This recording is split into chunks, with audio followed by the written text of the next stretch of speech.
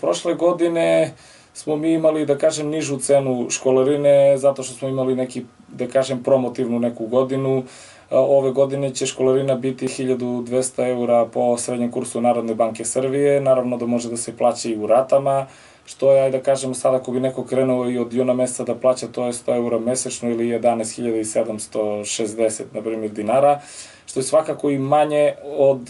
bilo kojih troškova ako bi neko